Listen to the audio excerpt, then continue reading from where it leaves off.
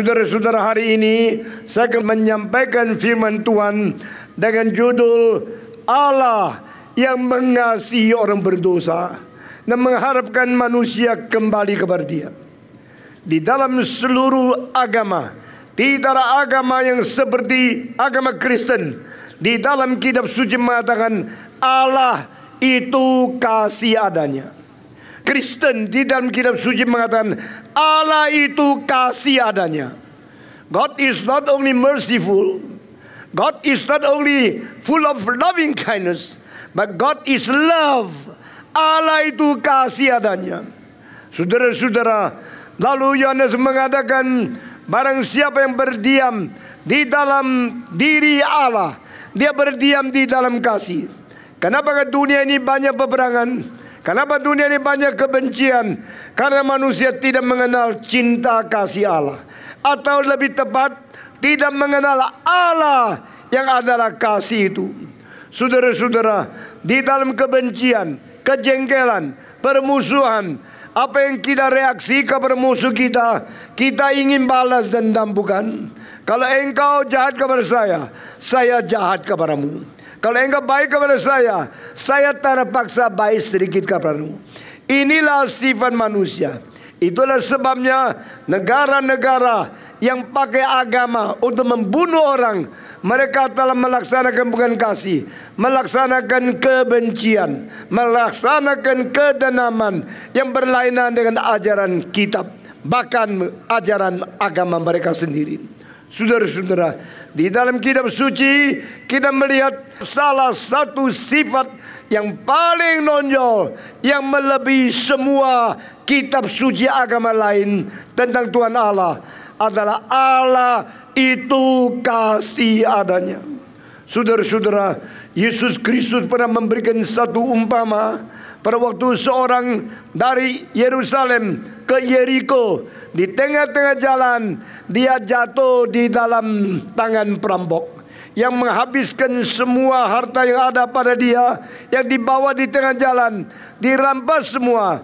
Mereka memukul dia melukai dia dan dia pingsan. Dia luka dia tidak bisa jalan berbaring di tengah-tengah jalan dijemur oleh matahari Kesakitan yang sangat mengerikan itu menjadikan dia seperti orang lumpuh yang tidak bisa bangun, tidak bisa jalan. Lalu dia mengharapkan ada orang yang menolong dia. Bukankah ini lumrah?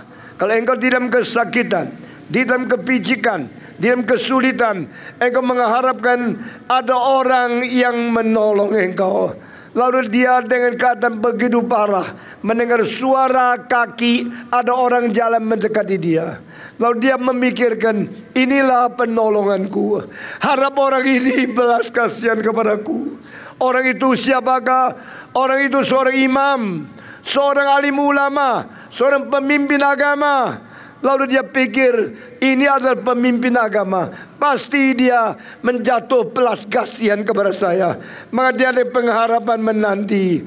Tetapi alim ulama itu. Seorang imam itu. Lewat melihat dia. lalu mulai memikirkan saya ada tugas agama. Saya akan memimpin pertemuan. Saya ada rapat dengan alim ulama, alim ulama yang lain. Saya tidak ada waktu. Lalu dia sesudah lihat orang ini, dia mempalingkan kepalanya, berjalan terus, tidak menggobris. Biar orang yang luka karena dipukul oleh perampok itu berada berbaring di pinggir jalan dan tidak membantu dia. Kenapa tidak membantu dia? Karena hatinya kurang cinta kasih. Kenapa tidak membantu dia? Karena di tempat sunyi, kalau bantu pun tidak ada orang yang lihat. Kalau saya tidak dilihat orang lain, waktu saya membantu, berarti saya sia-sia berbuat baik. Kalau saya bekerja sesuatu harus merugikan diri dan tidak mendapatkan upah, tidak mendapatkan uang apa pun, buat apa saya mesti susah payah menolong orang lain? Dia pikir-pikir, dia pentingkan keadaan diri sendiri. Dia pentingkan apa yang disebut sebagai untung rugi. Dia pentingkan pekerjaan dia karena sibuk. Karena tidak ada waktu, maka dia pergi. Toh tidak ada orang yang lihat. Lalu sesuai itu orang ini dengan kesusahan mengeluh sakit, panas, aus. Dia hampir mati. Dia tidak tahu siapa menolong dia. Istrinya berada di kota. Anaknya berada di tempat yang jauh. Kawan-kawannya tidak ikut dia dan semua harta yang dia miliki, yang dia bawa sudah dirampas habis. Dia dengar lagi suara telapak kaki ada orang laki-laki yang dekat di dia. Lalu dia menaruh pengharapan sekali lagi. Mungkin orang ini yang akan menolong saya. Ternyata orang itu orang Lewi. Orang Lewi ada orang yang menjadi majelis. Orang menjadi pengurus. Orang yang menjadi tua-tua yang melayani di dalam bait Allah. Ini juga seorang rohani, seorang yang mempunyai pengertian kitab suci, mempunyai pelajaran Taurat yang menghafal segala hukum daripada firman Tuhan. Orang ini dilatih melayani, melayani, tapi bagi dia melayani itu di gereja, bukan di jalan. Melayani itu bawa gitar nyanyi-nyanyi, bukan mengabar Injil. Melayani yaitu dilihat banyak orang. Saya sedang menjadi majelis, itu namanya pelayanan. Tapi di tengah jalan, di padang belantara, ini melayani. Siapa yang lihat? Siapa yang tahu? Siapa yang hitung? Siapa yang menghitung jasa saya? No one count my merit. No one know what I am doing. No one praise me. No one appreciate me. That is the reason I need not to do any service to help others. Saudara-saudara, lalu dia berkata, percumalah saya melayani orang ini. Biar dia mati di sini. Toh, saya tidak tolong dia. Juga tidak ada orang bisa mempersalahkan saya. Jikalau saya tidak membantu dia, juga tidak ada orang tahu kesalahan saya. Lalu dia pergi begitu saja. Dia pergi makin jauh, mengeraskan hatinya, tidak mendengar suara keluhan dari orang yang luka, orang yang sakit, orang yang kepanasan di jemur matahari, yang tergeletak di pinggir jalan di padang belantara.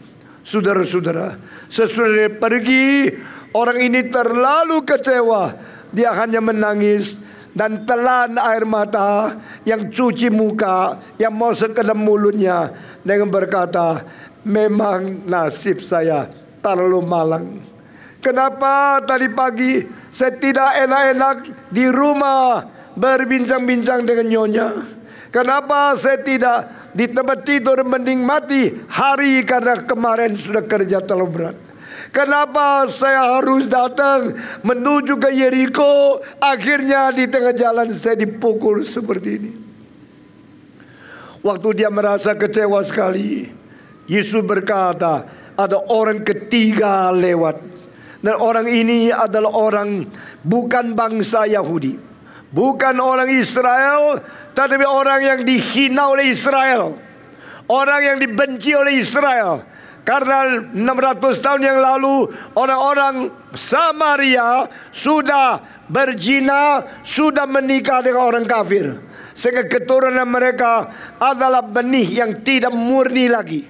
Adalah bangsa yang campuran. Maka orang Yahudi menghina orang orang Samaria. Menghina orang-orang benih campuran saudara-saudara. Dan orang-orang Samaria tahu mereka tidak ada tempat di dalam mata orang Yahudi. Mereka tidak dianggap tinggi oleh orang Israel. Mereka disebut seperti anjing. Mereka disebut bangsa yang rendah, bangsa yang hina. Jadi orang-orang daripada Samaria juga mereka mempunyai pikiran dendam kepada orang Yahudi. Tetapi orang ini tidak demikian.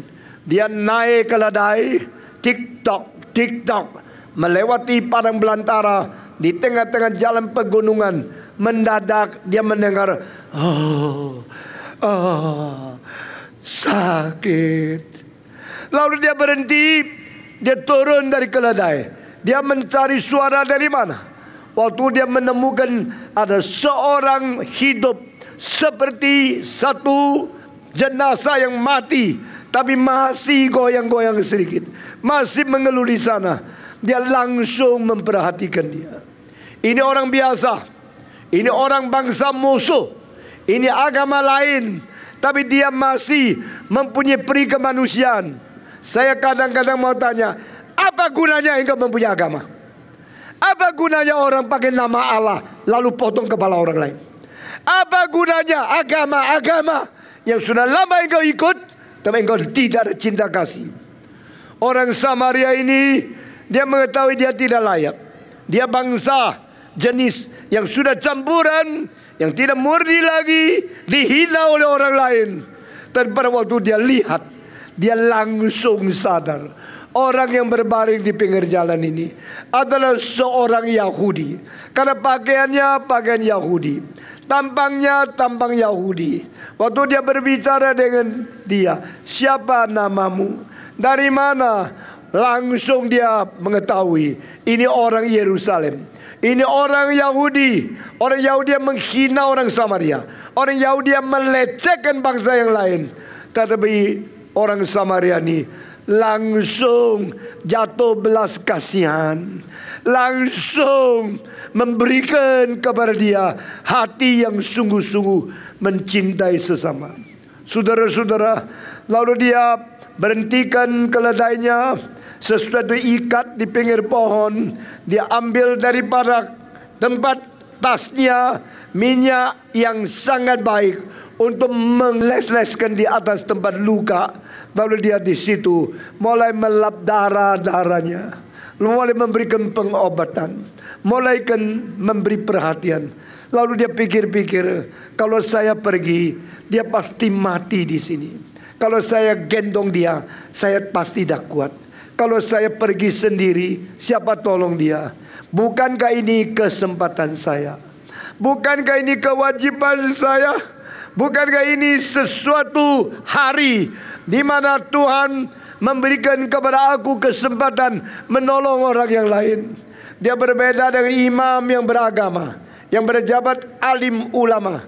Dia berlainan dengan orang orang Lewi yang namanya pengurus di dalam gereja. Dia adalah orang yang mempunyai belas kasihan. Tidak peduli engkau bangsa apa. Tidak peduli engkau agama apa. Tidak peduli engkau tingkatan lapisan masyarakat apa. Tidak peduli apa karyamu. Tidak peduli apa pekerjaanmu. Engkau manusia. Saya manusia. Saya keadaan aman. Engkau baru dilukai. Saya lebih kuat. Engkau lemah. Tidur di pinggir jalan. Saya mempunyai kemampuan. Ada keledai. Engkau sekarang tidak mungkin. Keledaimu sudah diambil. Uangmu sudah dirampas. Hartamu sudah dicuri. Dan engkau sendiri berada di sini. Dia pikir-pikir. Akhirnya dia dengan susah payah. Mengangkat badan seorang dewasa yang begitu berat. Lalu ditaruh di atas keledainya. Sesudah itu dia sendiri jalan kaki. Dia mengorbankan diri. Dia menyangkal diri. Better you You ride on the donkey and let me walk. Biar aku berjalan, biar aku menggandeng keledai ini, aku membawa engkau. Lalu dia berjalan-jalan, tanya orang, di mana ada losmen? Di mana ada hotel? Saya boleh mentitip orang ini supaya dia disembuhkan sampai dia sudah sembuh, dia boleh pulang. Lalu dia mengetahui orang ini tidak ada uang. Sampai di losmen dia bicara sama pemilik losmen, bolehkah saya minta satu kamar? Taruh orang ini yang saya sekarang bawa ke sini. Siapa itu? Apakah dia kawanmu? Bukan. Familimu? Bukan. Dia rekanmu? Bukan. Kenalanmu? Bukan. Lalu engkau taruh di sini. Bagaimana? Siapa yang bayar losmen? Saya akan bayar. Kalau dia perlu lima hari baru sembuh, saya bayar semua. Kalau dia perlu berapa hari, saya bayar semua. Silakan kasih makan. Silakan rawat dia. Kalau perlu bantu dia karena dia sekarang keadaan lemah, sakit, mungkin tidak bisa jalan, perlu orang bawa dia atau orang memandikan dia dengan handuk yang basah supaya dia bisa hidup enak. Nanti saya pulang, saya bayar semua. Sekarang tulis surat tanda janji bayar dan dia kasih obatnya, kasih pakaiannya, segala sesuatu yang dia bawa untuk kecukupan diri sendiri dia sekarang menolong orang lain. Lalu dia baru pergi. Saudara-saudara setelah Yesus menceritakan cerita ini dia tanya kepada Yahudi siapakah tetangga orang ini? Saudara-saudara Alkitab mengatakan cintailah Tuhan dengan seluruh pikiranmu, segenap hatimu, sebulat pikiran hatimu, sekuat tenagamu. Sesudah itu cintailah sesamamu. Cintailah tetanggamu supaya engkau mencintai diri sendiri. Setelah orang-orang bisa menghafal firman Tuhan, bisa menghafal hukum Taurat dari Musa, semua sudah belajar kita perjanjian lama. Lalu Yesus tanya kepada mereka, Hei, sekarang jawab kepadaku. Orang Yahudi ini, dia punya tetangga itu siapa? Tetangganya orang Yahudi juga. Atau tetangga siapa? Saya mau tanya, siapakah tetanggamu? Siapakah sesamamu yang harus engkau menyatakan cinta kepadanya? Saya mau tanya lagi, orang Samaria ini siapakah sesamanya? Siapakah tetangganya? Alkitab berkata, dia menganggap bangsa lain sesama. Dia menganggap orang beragama lain sesama. Dia menganggap orang lapisan masyarakat yang lain sesama. Dia menganggap musuhnya adalah sesamanya. Lalu dia tidak menghiraukan agama apa, suku apa, engkau lapisan masyarakat apa, kondisi apa. Banyak orang hanya mau berkawan dengan orang kaya. Kalau melihat orang miskin, tidak digobris, dihina, dilecehkan, direbehkan, ditinggal. Saudara-saudara, jikalau engkau hanya melihat orang kaya dan engkau tidak memandang orang miskin, Mungkin Tuhan membiarkan anak cucu keturunanmu semua menjadi orang miskin. Jangan kira sikapmu terhadap orang lain bisa melarikan diri daripada mata Tuhan Allah yang seperti pedang bermata dua. Jangan kira engkau sembarangan menghadap orang lain. Tuhan tidak mengetahui dan Tuhan tidak mencatat. Saudara-saudara sekalian. Begitu banyak orang yang kurang baik kepada orang lain. Akhirnya dibiarkan oleh Tuhan. Mereka tidak mempunyai kesempatan untuk balik lagi. Tetapi barang siapa yang hati baik kepada orang lain. Tuhan melihat dari surga. Dia mengetahui. Dan dialah yang mendorong menggerakkan engkau. Mencintai orang lain. Biarlah mari kita semua belajar. Semua orang. Tidak peduli orang putih, orang hitam, orang kuning, orang coklat. Jika lebih tua dari saya, haraplah saya menganggap dia sebagai papa mama saya. Jika dia lebih muda dari saya, biarlah kita memperlakukan dia sebagai saudara saya. Jikalau mereka itu lebih muda dari saya, biar kita memperlakukan mereka seperti anak-anak kita sendiri. Gampang gak itu? Tidak gampang. Bagaimana kita bisa mencapai itu? Belajar, belajar dari Yesus. Yesus Kristus adalah satu-satunya juru selamat. Satu-satunya pengantara yang sendiri adalah Allah jelma menjadi manusia dan di dalam hidup manusia dia menjadi teladan semua orang yang dicipta menurut peta dan teladan Tuhan Allah. No one is like Jesus. No one is a soul full of loving kindness, full of mercy, full of love like Jesus Christ. Tidak ada orang mempunyai cinta kasih seperti Yesus Kristus. Yesus Kristus adalah anak Allah yang turun dari surga. Firman menjadi daging. Mengapa Allah harus menjadi manusia? Supaya manusia mengetahui Allah yang sejati itu bagaimana. Allah harus menjadi manusia. Supaya manusia mengetahui menjadi manusia harus sebagaimana. Saya ini anak manusia macam apa? Banyak orang tidak pernah memikirkan apakah engkau beres menjadi manusia. Apa yang engkau benar menjadi anak orang? Apa yang engkau benar menjadi manusia yang dicipta menurut peta teladan Allah? Apa yang engkau menjadi orang Kristen yang beres? Engkau selalu banding kepada orang yang lebih jahat, orang yang lebih jelek, lalu engkau memuaskan diri, menghibur diri, memuji diri. Saya sudah lebih baik dari orang lain. Alkitab mengatakan jangan membual, jangan menjadi sombong, jangan mempersombongkan dirimu sendiri. Kalau engkau mau membanggakan, banggakanlah dirimu di hadapan Tuhan Allah.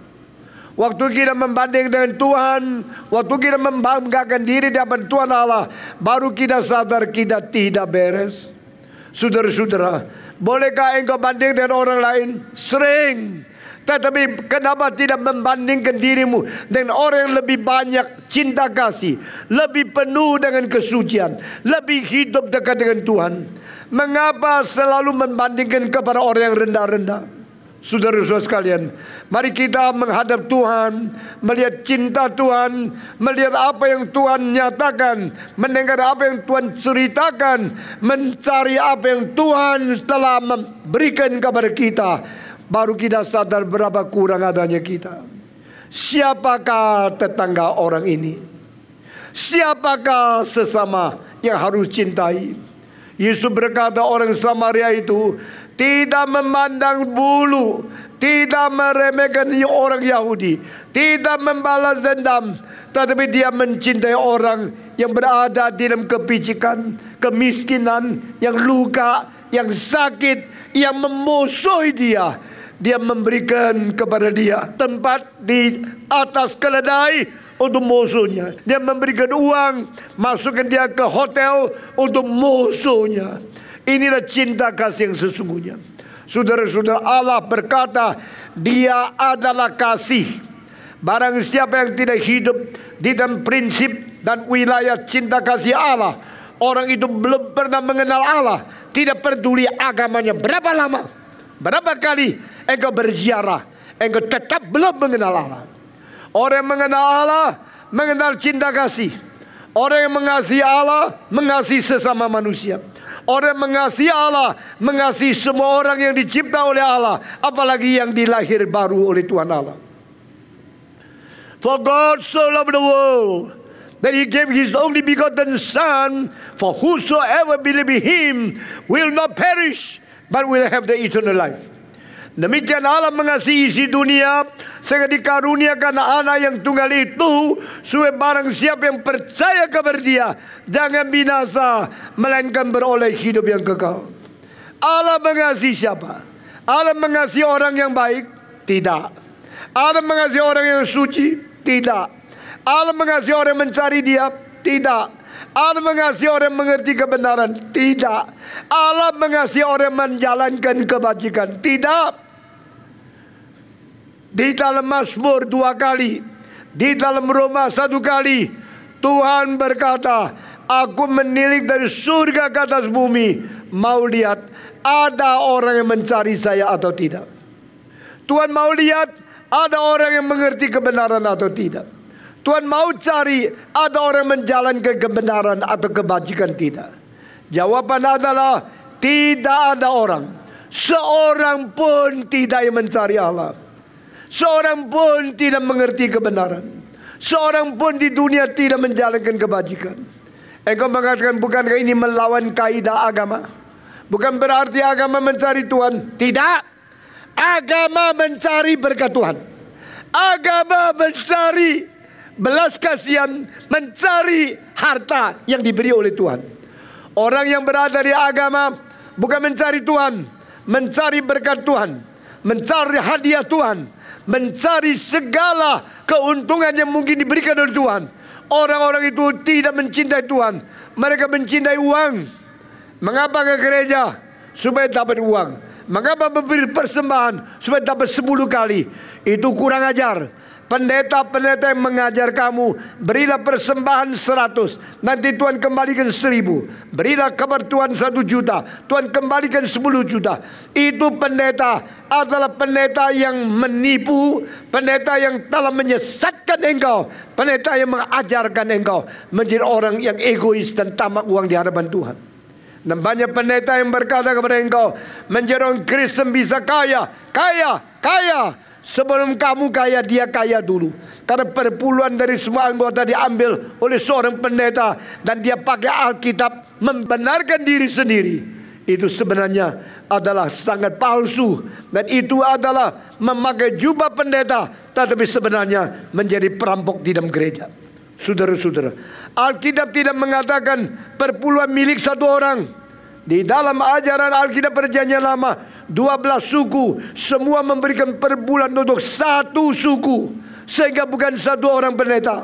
Jangan kita ditipu oleh pendeta-pendeta yang palsu. Mari kita belajar Alkitab dengan baik-baik. Dan uang yang kau miliki dari Tuhan Beri perpuluhan kepada Tuhan. Karena itu uang Tuhan Bukan karena ingin mendapatkan 10 kali lipat ganda? Tuhan kembalikan kepadamu. Siapakah tetanggamu? Bukan orang kaya. Bukan orang yang berpangkat tinggi. Siapakah tetanggamu? Mereka yang dilukai. Mereka yang dirampok. Mereka yang dipukul. Mereka yang tidak ada harapan. Itulah tetanggamu. Cintailah mereka yang miskin. Kasihilah mereka yang jatuh di dalam kebahayaan. Berilah berkat kepada mereka yang sekarang tidak bahaya. Saudara-saudara. Allah kasih adanya. Allah bukan mengasihi yang lebih tinggi dari dia.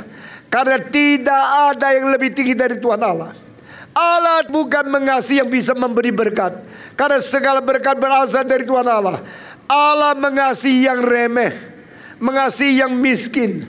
Mengasihi yang berdosa. Mengasihi yang najis. Mengasihi yang berontak kepada dia. Mengasihi orang-orang yang melawan dia. Dia tetap mengasihi mereka. Saudara-saudara, dengan engkau mencintai Tuhan, Tuhan menjadi lebih kaya? Tidak. Dengan engkau mengerti dan engkau belajar pengenalan Tuhan, Tuhan lebih bijaksana? Tidak. Engkau tidak bisa menambah apa pun untuk menambah sesuatu apa pun yang berada di dalam Tuhan. Tapi engkau adalah orang yang bijaksana diberi oleh Tuhan. Kekayaan diberikan oleh Tuhan kesehatan diberi oleh Tuhan. Sedangkan kekayaan kau miliki, kau pakai untuk melacur. Engkau pakai untuk berjudi. Engkau pakai untuk minum ganja. Engkau pakai untuk narkoba. Engkau pakai untuk merokok. Engkau berbuat segala jahat, segala dosa dengan memakai uang yang Tuhan berikan kepada engkau. Engkau memakai bijaksana yang Tuhan berikan kepada engkau untuk memikirkan hal-hal yang rusak, untuk merugikan orang lain, untuk menipu, untuk berdagang curang. Engkau memakai bijaksana Tuhan untuk kerjaan yang jelek atau dipakai oleh setan. Saudara-saudara, kapankah engkau bertobat? Kapankah engkau menjadi manusia yang beres? Kapan engkau menjadi orang Kristen yang sesungguhnya berkenan di hadapan Tuhan? Jangan kita sombong. Jangan kita anggap diri lebih baik dari orang lain. Jangan menghitung jasa-jasa yang engkau pernah hitung, engkau pernah lakukan sebagai sesuatu kebajikan yang engkau membanggakan diri. Segala sesuatu yang kita lakukan yang baik adalah seharusnya karena memang kita dicipta menurut peta teladan Allah sehingga kita mempunyai konsep kebajikan, konsep keadilan, konsep kesucian, konsep cinta kasih, konsep belas kasihan kepada orang lain. Itu adalah yang seharusnya kita lakukan. Sehingga jangan kita menghitung jasa. Jangan seperti orang kafir kira berbuat baik jasa besar bisa menutupi dosa lalu masuk ke surga. Allah tidak menerima suapan. Allah tidak menerima korupsi. Allah adalah Allah yang adil, setia menghakimi segala dosa yang kita perbuat. Itu sebab yang Tuhan tuntut daripada kita bukan memberikan uang banyak untuk menebus dosa kita, bukan berbuat baik supaya kita mendirikan jasa. Yang Tuhan tuntut daripada kita adalah pertobatan yang sejati. Adalah benar-benar tinggalkan dosa. Adalah benci kepada kejahatan dan cintailah kebajikan dari Tuhan Allah. Cintailah kesucian Tuhan Allah. Cintailah kerajaan Allah. Cintailah kebenaran Allah. Cari dahulu kerajaan Allah dan kebenaran Allah. Yang lain Tuhan akan memberikan tambahan kepada engkau. Tuhan tidak akan membiarkan engkau miskin. Tuhan tidak akan membiarkan engkau dilecehkan atau terlantar. Tuhan pasti akan memelihara anak-anak yang betul-betul mengenal dia. Tapi jangan engkau minta sesuatu lebih daripada secukupnya. Sehingga engkau membuang, menghamburkan di dalam foya-foya dan dosa engkau sendiri. Saudara-saudara, kita bersyukur kepada Tuhan. Alkitab berkata, Allah yang sejati adalah Allah yang penuh cinta kasih. Dan Allah mencintai orang berdosa. Tetapi Allah membenci dosa orang-orang yang berdosa itu. Jangan kira Allah itu adalah Allah yang akan mengkompromikan diri dengan dosa. Allah mencintai orang berdosa, tetapi Allah tidak mencintai dosa kita masing-masing. Allah mencintai orang berdosa, tapi Allah membenci dosa yang ada pada orang-orang itu. Saudara-saudara sekalian, sebagaimana engkau lihat anakmu yang kau lahirkan, tetapi sekarang mukanya kotor, engkau pakai handuk dengan sabun cuci mukanya karena kotor yang lengket, cucinya engkau sangat keras, anak itu menangis, mama, kenapa membuat saya sakit? Engkau berkata kepada anak, aku sangat mencintai engkau. Tapi aku tidak mau mukamu kotor. Kotor itu aku tidak cinta. Saya akan membersihkan, keluarkan dia daripada mukamu. Supaya engkau tetap menjadi anak yang elok. Menjadi anak yang bagus. Anak yang ganteng dan cantik. Karena engkau anakku. I love you. But I do not love the dirt on your face. Saya mencintai engkau. Tapi saya tidak mencintai kotoran yang ada pada mukamu. Demikian Tuhan berkata, aku mencintai manusia, tetapi aku tidak mencintai dosa yang lengket kepada hidup seorang yang kucipta itu. Itu sebab saudara-saudara, jangan engkau salah paham kepada Tuhan Allah. Allah bukan karena engkau berdosa mencintai kamu sekaligus dosamu diterima oleh Tuhan Allah. Dosa tak boleh masuk. Dosa tak boleh masuk. Surga tempat yang tinggi ada Allah Bapa yang suci. Dosa tak boleh masuk. Jangan kira Allah cinta kamu, engkau boleh bawa dosa masuk dalam surga. Tidak mungkin. Allah akan menolak semua dosa. Allah benci dosa sampai terpaksa dia membuang Yesus Kristus di atas kayu salib. Masih ingat pada waktu Yesus dipaku di atas kayu salib. Dia di dalam kalimat keempat berteriak, My God, my God. Why hast thou forsaken me? Allahku, Allahku, mengapa engkau membuang aku? Mengapa engkau meninggalkan aku? Mengapakah Tuhan meninggalkan Yesus? Mengapa Allah membuang Yesus di atas kayu salib? Karena Yesus sedang menanggung dosamu dan dosaku. Di mana ada dosa, di situ dibenci oleh Tuhan. Di mana ada manusia yang berdosa, di situ diharap Tuhan dia kembali meninggalkan dosa. Pada waktu dosa engkau dan dosa saya, semua ditimpakan kepada Yesus Kristus. Seperti apa yang ditertulis di dalam kitab Nabi Yesaya pasal 53 ayat ke-10. Dia menimpakan segala kejahatan dosa kita di atas diri Yesus Kristus. All our sins are all put on Him. Dosa ditimpakan kepada Kristus. Maka Tuhan Allah mengatakan, Aku membuang engkau. Aku meninggalkan engkau. Dan Yesus berkata, My God, my God, why have you forsaken me? Kenapa engkau meninggalkan aku? Oh Tuhan, Bapakku di surga. Waktu itu Yesus sedang menanggung dosamu, menanggung dosaku. Saudara-saudara, jikalau dosa dibenci oleh Tuhan Allah, mengapa kita masih mencintai dosa? Engkau cinta nakorba, engkau cinta pelacur, engkau cinta berzina, engkau cinta berjudi, engkau cinta merokok, engkau cinta segala macam kejahatan, engkau cinta dengki, iri, kejahatan di hatimu yang membenci orang-orang yang kau musuhi. Sampai kapankah?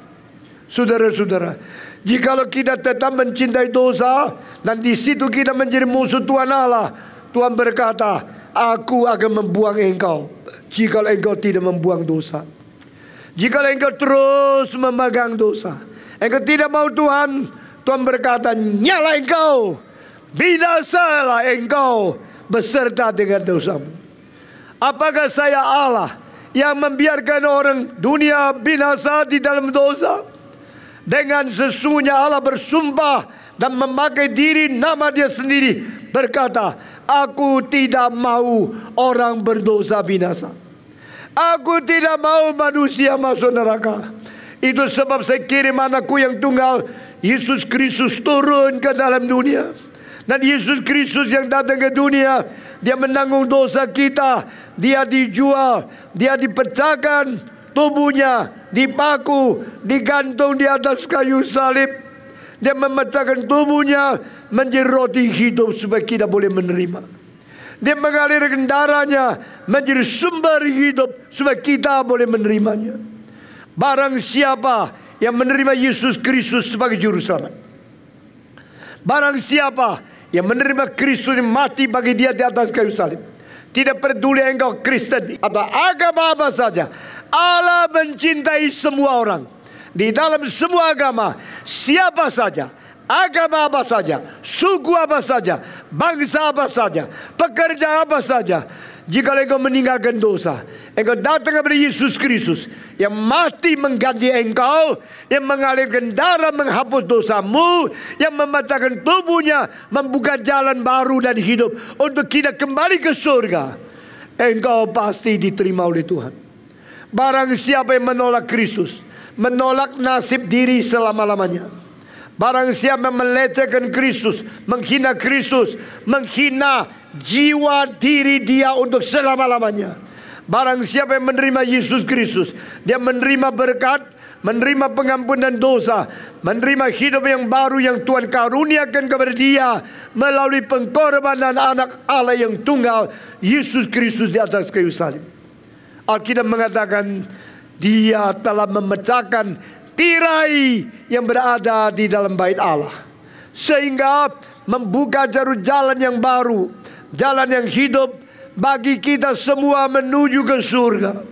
Saudara-saudara masih ingin dengan perjanjian lama, bait Allah ada serambi di luar, halaman untuk umum, lalu ada tempat suci, lalu ada tempat maha suci. Tempat suci, tempat maha suci, lebih besar tempat suci dua kali Paling kecil tempat maha suci. Karena yang bisa masuk dalam terlalu sedikit. Yang bisa masuk dalam itu kaum pilihan. Di situ tempat paling suci. Panjang, lebar, tinggi sama. Seperti di tempat suci panjang, lebar sama. Tetapi dia punya panjangnya dua kali lebarnya. Itu sebab tempat yang paling suci di dalam itu. Hanya satu orang boleh masuk yaitu imam besar. Imam besar berapa orang di dalam Bani Israel? Hanya satu. Dan imam besar kapan boleh masuk? Tanggal 10 bulan 7. Boleh masuk ke dalam tempat masuknya berapa kali? Satu tahun haru boleh satu kali. Yang masuk berapa orang? Hanya satu orang. Siapa dia? Imam besar yang mewakili seluruh umat manusia yang disebut orang Israel. Saudara-saudara, mereka menyembelih domba, mengalirkan darahnya, lalu imam besar satu orang, satu kali di dalam bulan tujuh tanggal ke sepuluh masuk ke dalam tempat suci itu. Lalu dia mempercikan darah dari domba tujuh kali kepada tirai yang tertutup itu membuktikan dia harus menebus dosa diri dan dosa Israel. Sesudah itu baru dia buka tirai itu. Tak boleh orang sentuh. Tak boleh orang pegang. Tak boleh orang dekat. Hanya satu orang. Imam yang paling besar. Dari seluruh Bani Israel. Hanya satu hari. Tanggal 10 bulan 7. Hanya satu kali. Dia masuk. Setelah percik. Dia bukan menghadapi Tuhan Allah. Di dalam tempat maha hanya satu barang, peti perjanjian. Peti perjanjian melambangkan Tuhan tidak membuang manusia. Tuhan berjanji akan menyelamatkan manusia. Di atas perjanjian peti itu ada satu tutup namanya dua. Nama pertama takta rahmat. Nama kedua penutup dosa. Kenapa tutup itu yang menutup peti perjanjian ada dua nama. Karena di situ Tuhan mengatakan kalau dosa mau ditebus harus dikalahkan. Dan yang mengalahkan dosa itu namanya penutup dosa yang sekaligus takta rahmat. Dengan anugerah Tuhan baru ada penutupan dosa. Dengan anugerah Tuhan baru ada penyelesaian dosa. Dan apa yang berada di dalam peti perjanjian? Di dalam perjanjian itu Petinya hanya isi dua batu.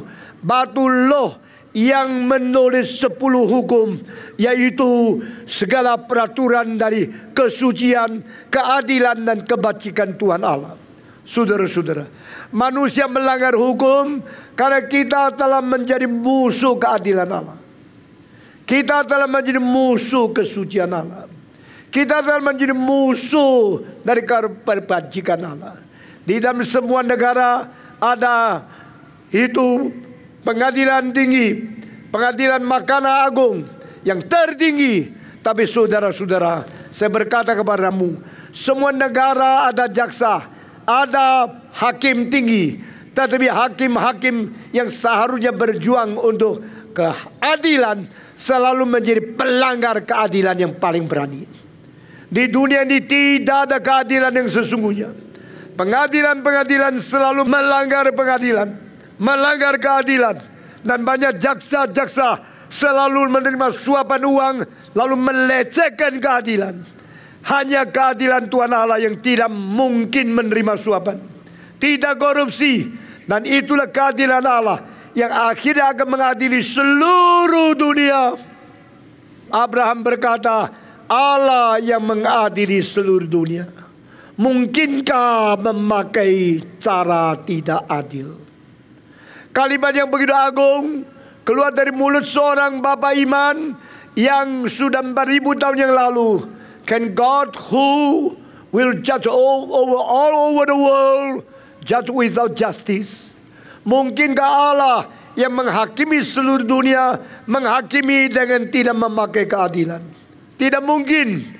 Dan keadilan itu berarti siapa yang bisa menutupi, siapa yang bisa menyelesaikan, siapa yang bisa melebihi tuntutan penghakiman menurut keadilan Tuhan Allah. Baru Tuhan mengampuni dosanya. Siapakah bisa menutup dosa kita? Siapa yang bisa menutup hutang kita kepada Tuhan? Siapa bisa melunaskan segala sesuatu kekurangan adil kita yang kita hutang kepada Tuhan? Hanya Yesus Kristus. Hanya Yesus Kristus yang dipaku di atas kayu salib. Dia telah mengalirkan darah. Dia telah menerima hukuman yang paling berat. Hukuman daripada seluruh dunia yang terima kepada dia. Dosanya ditanggung oleh Yesus Kristus. Itu sebab Yesus Kristus mengatakan kalimat genaplah di atas kayu salib. Istilah genaplah berarti sudah komplit, Sudah selesai. Sudah semua dibayar oleh Yesus. Yesus yang membayar semua hutang kita. Yesus yang menggenapi segala rencana Allah. Berkata genaplah dalam bahasa Greka tetelestai. I have already completed. I accomplished. I already run until the finishing point.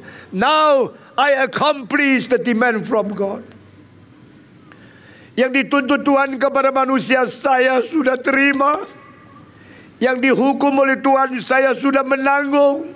Segala dosa sudah saya pikul. Saya telah mengalahkan. I conquer all the power of sin. I conquer the world. I conquer Satan. Yesus mengalahkan setan. Mengalahkan hukuman mengalahkan segala tuntutan keadilan dari Tuhan Allah sehingga dia seperti penutup peti perjanjian itu. Saudara-saudara, hukum sepuluh hukum membuktikan kita dalam sepuluh segi sudah melanggar keadilan Tuhan. Sepuluh hukum menjadi saksi keadilan Allah yang menuntut kita harus bayar. Tapi Kristus menutup. Jadi yang disebut tutup daripada peti perjanjian itu adalah the cover of sin and the seat of mercy. Adalah takhta rahmat, adalah penutup dosa. Berarti Kristus sudah mati mengganti kita dan Kristus sudah menanggung hukuman dosa dan Kristus sudah menjadi sumber rahmat pengampunan dosa kepada kita. Pada waktu Yesus Kristus dipaku di atas salib, pada saat dia mengatakan genaplah tirai itu dari atas sampai bawah, pecah menjadi dua. Dan dari atas sampai bawah begitu tinggi robek sendiri. Saudara-saudara di dalam film-film tentang Yesus kadang-kadang tirai itu pakai satu kertas atau satu kain seperti handuk kecilnya. Semua tidak mengerti kitab suci, berani bikin film. Saudara tahu tirai di dalam bait Allah saat Yesus mengatakan genaplah robek dari atas sampai bawah itu berapa besar? Itu bukan bait Allah yang dibikin di dalam kemah perhimpunan. Itu bukan bait Allah yang dibangun oleh Solomon. Itu bukan bait Allah yang dibangun oleh Babel. Itu adalah bait Allah yang dibikin oleh Herodes. Herodes telah membuat bait Allah yang paling-paling besar. Paling lebar. Paling tinggi. Demikian serambinya, halamannya. Demikian tempat sucinya Demikian tambah maha sucinya. Saudara tahu berapa lebar, berapa berat, berapa tinggi, berapa besar tirai itu. Waktu memasang tirai itu perlu 300 orang. Saya tidak bisa bayangkan lebih daripada rumah yang bersusun-susun berapa susun. Tirai yang berat itu dari atas sampai bawah. Kalau pecah kecuali tangan Tuhan Allah. Tidak ada orang sanggup memecahkan itu. Tetapi Alkitab mencatat pada waktu Yesus Kristus mati di atas sekali salib, dia berteriak, genaplah. Saat itu di dalam bait Allah terjadi mujizat, tirai itu pecah dari atas sampai bawah. Yang hanya bisa dipasang dengan tenaga 300 orang. Harus berapa ratus orang babis tidak robek dari atas sampai bawah tuntas. Saudara-saudara, engkau robek pakaian saya saja. Lima orang tidak kuat memecahkan persis dari tengah. Tetapi Tuhan yang merobek. Kenapa Tuhan robek? Berarti dari tempat suci sampai tempat suci tidak itu tidak berfungsi lagi. Sekarang sudah pecah. Jalan sudah tembus. Sekarang tidak lagi dihalangi. Tidak lagi dihalangi oleh Taurat. Tidak dihalangi oleh kemarahan Allah. Tidak lagi dihalangi oleh segala hukuman yang harus kita terima. Semua sudah ditanggung oleh Yesus. Sehingga tirai itu terbuka, pecah menjadi dua. Dan bukan hanya satu orang yang namanya imam besar boleh masuk ke dalam. Semua orang boleh melihat. Semua orang boleh melihat karena tirai sudah terbuka. Ini artinya adalah jalan ke surga sudah dibuka. Kita tidak lagi dihalangi oleh hukum. Kita tidak dihalangi lagi oleh murka Allah. Kita tidak dihalangi lagi oleh kutuk daripada kesucian ilahi. Yesus buka jalan yang baru dan yang hidup untuk semua manusia yang percaya kepada dia. Itu sebab malam ini biar saya mewakili Tuhan memanggil engkau. Bertobatlah, tinggalkanlah dosamu, menerima Yesus sebagai juru selamat yang sejati. Menjadi juru selamatmu pribadi.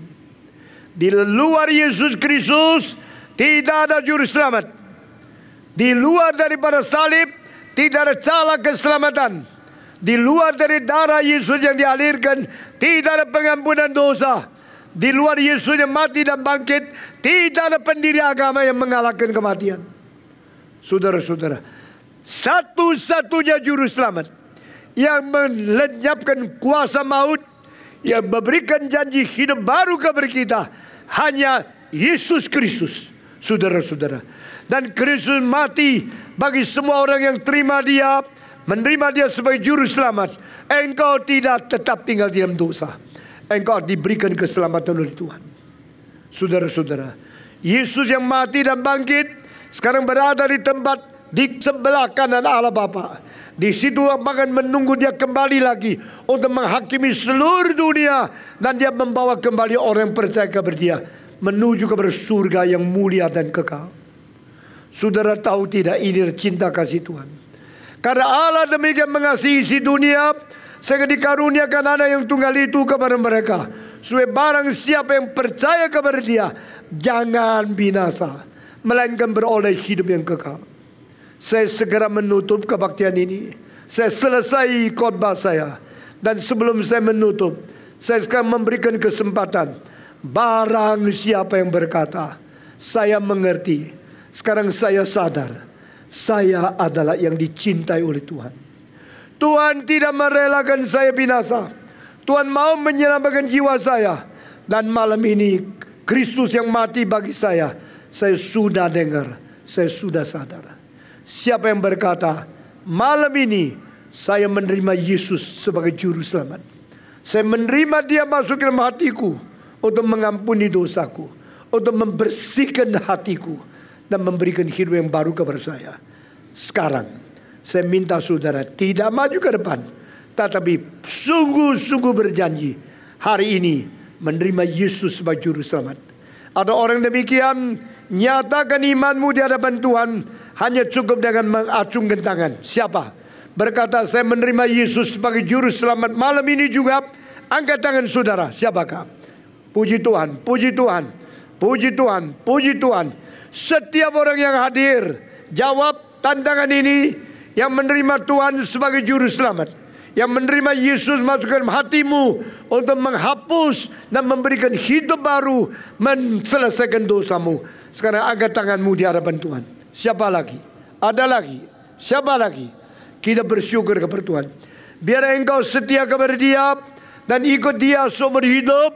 Jangan menyeleweng lagi. Jangan berdosa lagi. Tetapi minta Tuhan menerima engkau sampai ke surga. Amin. Mari kita angkat tangan dan berdiri di hadapan Tuhan. Kita mau berdoa dengan angkat tangan. Tuhan melihat tangan kita yang angkat dan berjanji kepada dia. Engkau berkata di sini saya, lihatlah tanganku menyatakan janjiku. Angkat tangan saudara. Saudara-saudara, mari kita berdoa. Saya minta pendeta Lim Kohan pimpin kita di dalam doa menerima Tuhan dan berjanji seumur hidup setia kepada dia. Bapa di surga kami naikkan syukur dan berterima kasih kepada Tuhan. Malam hari ini engkau berfirman kepada kami. Engkau memberikan janji yang begitu indah di dalam Kristus Yesus yang mati tersalib engkau sudah mati menggantikan kami orang berdosa ya. engkau juga sudah bangkit mengalahkan maut dan setan memberikan jaminan hidup yang kekal kepada kami ya Tuhan kami tidak layak kami orang berdosa tapi engkau sudah memberikan janji hidup yang kekal melalui iman kepada Yesus Kristus Hari ini Tuhan, Engkau juga sudah membuka hati kami. Kami boleh mengaku dosa, kami mau bertobat, dan kami kembali berkomitmen untuk menerima Engkau sebagai juru selamat pribadi kami. Kiranya Tuhan meneguhkan setiap kami. Tuhan tambahkan iman kami untuk lebih mengandalkan Tuhan. Lebih berserah kepada Tuhan. Sehingga hidup kami namamu dipermuliakan. Kami merindukan segala firman yang engkau sudah sampaikan pada malam hari ini. Tidak kemenangan sia-sia, tapi dengan iman yang sejati pada kami yang pada saatnya boleh menghasilkan buah untuk kemuliaan Tuhan.